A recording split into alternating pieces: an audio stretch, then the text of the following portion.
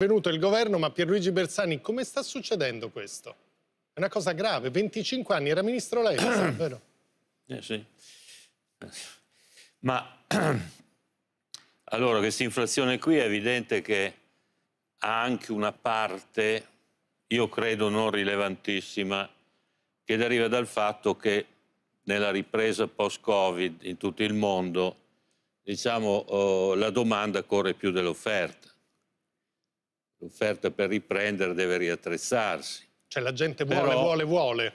Eh sì, adesso ricomincia, eh, si ricomincia a spendere e chi si era trattenuto nella produzione deve rimettersi in moto. Però questo viene detto come io ci credo fin lì. Io vedo che sotto sotto il tema rilevante è l'energia.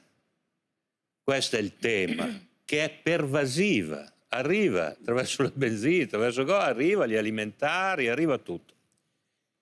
E questo andamento dell'energia eh, io credo che abbia anche una causa che non viene, secondo me, abbastanza valutata, né a livello europeo né a livello nazionale.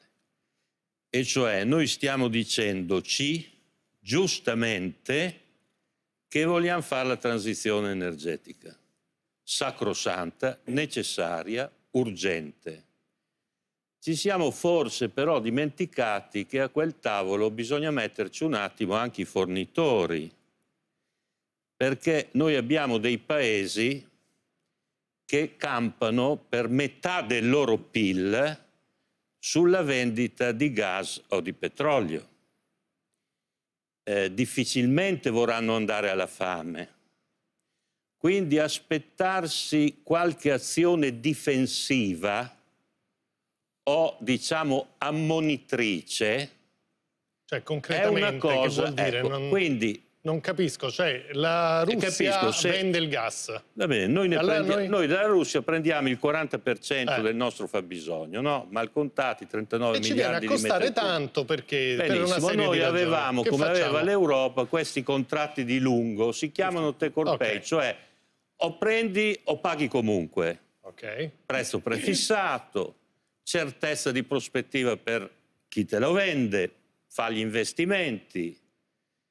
A lato di questo ne prendevamo dell'altro, secondo i picchi, i bisogni, e ce lo facevano pagare eh lo stesso prezzo.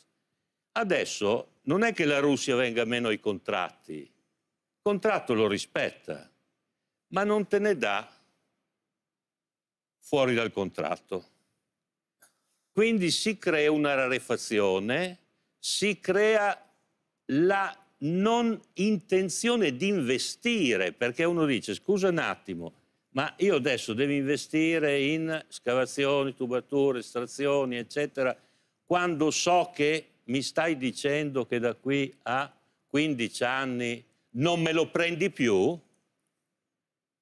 Cioè io vorrei far notare, adesso non venga fuori qualche pirla che dice che sono filo Putin, eh? No, però sto dicendo, al di là della politica, che un buon mercante, quando cambia la prospettiva, deve parlare col suo fornitore, deve parlargli e dirgli che cos'altro si può fare, non si può fare, in modo da tenere il prezzo un po' badato. Gardini, le piace questa analisi? Eh.